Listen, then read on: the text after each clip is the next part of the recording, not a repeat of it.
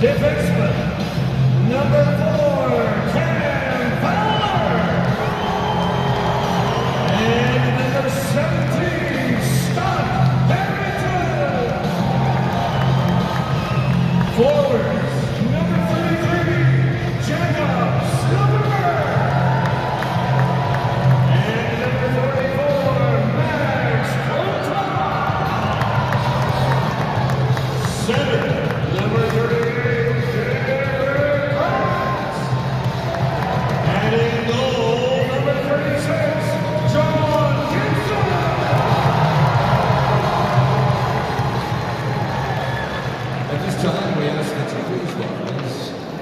Remove your hats.